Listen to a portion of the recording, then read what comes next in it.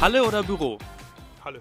Warum? Weil wir in der Halle die meisten Leute, die, die meisten Menschen suchen, die ähm, gerne einen Job machen wollen. Fachkraft für Lagerlogistik und Fachlagerist sind die Berufe der Zukunft. Logistik wird es immer geben und die meisten Bewerber sind ähm, zehn Jahre lang zur Schule gegangen mit wenig guter Karriere und sagen sich auch dann so ey, noch weiter in der Schule sitzen oder am Tisch sitzen, raus in der Halle. Da arbeiten, mitwühlen, mitarbeiten, was auf die Reihe kriegen, im Team zusammenarbeiten und am Ende des Tages zu sehen, was ich alles geschafft habe.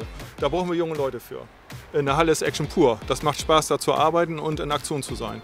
Wie würden Sie mich in 10 Sekunden von der BLG überzeugen?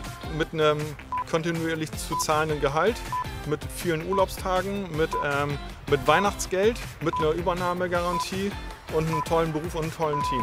Tipptopp.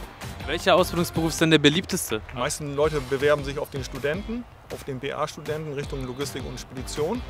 Da gibt es viele Bewerbungen und danach kurz schon hinter, dahinter platziert Industriekaufmann, Frau. Fachkraft für Lagerlogistik und Fachlagerist können wir immer jedes Jahr 20 Leute einstellen, kriegen aber nicht so viele gute Bewerbungen. Kommt noch alle her, wir kriegen einen Platz für euch. Skala 1 bis 10, wie gut ist der Kaffee hier in der Teeküche? Neun. Das ist eine Ansage.